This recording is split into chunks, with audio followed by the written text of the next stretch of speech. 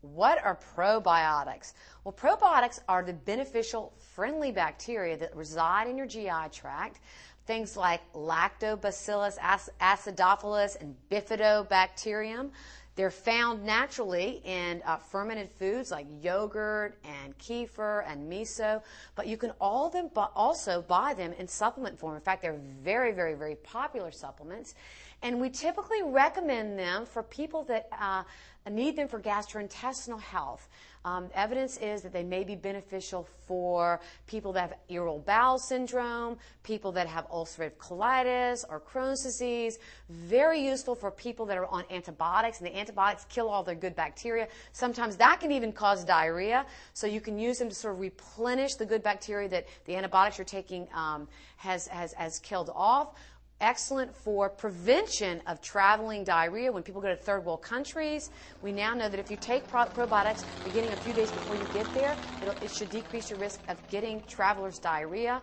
There's evidence they can sort of boost immunity in general. We have studies in children that children that uh, daycare kids that did probiotics got less diarrhea, especially from rotavirus, and even less respiratory infections.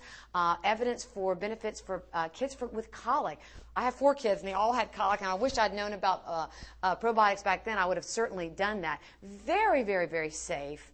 Um, in fact, I know of no risk or no side effects, with the exception of possibly an interaction with one particular medication called sulfasalazine, which is sometimes used in patients that have inflammatory bowel disease. It's really important when you buy a probiotic supplement, if you're going um, to use them, because that you think they'll be useful for your specific situation, to be sure that each dose provides at least 1 billion live organisms because that's the minimal amount studies are showing are necessary for efficacy. And the other thing you need to know is it's ideal to keep your probiotic supplement refrigerated. And usually that is the way you're going to purchase them uh, from the health food store or the healthy grocery store.